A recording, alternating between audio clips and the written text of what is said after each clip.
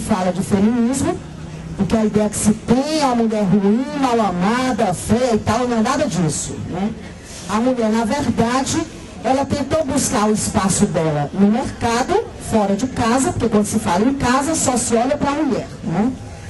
Então, acabou que o feminismo foi abraçando essa questão política da mulher, por direitos políticos e civis, e o senso comum, né, a gente no dia a dia entende diferente. Qual a importância do movimento social nesse contexto? Né? A marcha, ela, ela, ela preza muito pela auto-organização uma luta constante pela autonomia e autodeterminação das mulheres.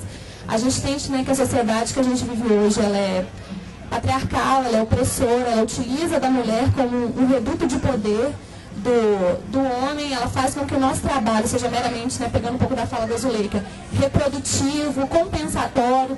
Então, a importância da gente estar se, se, se identificando com esse movimento, da gente estar se organizando, para a gente fazer essa luta diária no combate né, às mais variadas formas de opressão que recaem sobre a mulher hoje. Hoje em dia, nós, é, mulheres, né, eu como mulher, é, é, algo muito especial em termos de oportunidades, oportunidades essas e que há décadas atrás não eram oferecidas para as mulheres, mas que hoje em dia se acaba tendo que desbravar é, muito em termos de fazer muito mais do que aquilo que seria necessário se fosse homem, né?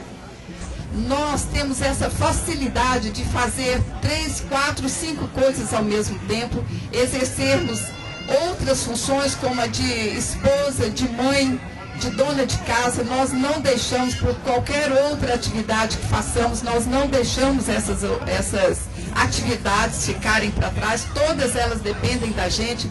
Então eu percebo que na política também a mulher pode dar essa contribuição de conseguir enxergar ao seu redor tudo aquilo que é necessário e ter uma visão mais rápida para resolver, para solucionar aquela necessidade.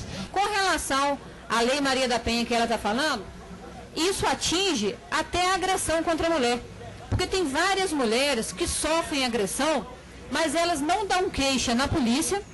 Eu, quando eu trabalhei no plantão, várias vezes eu atendi ligação lá no 190, que é o nosso telefone de emergência, de mulheres assim chorando e me dizendo assim que estava sendo agredida pelo marido, que não aguentava mais tanto sofrimento.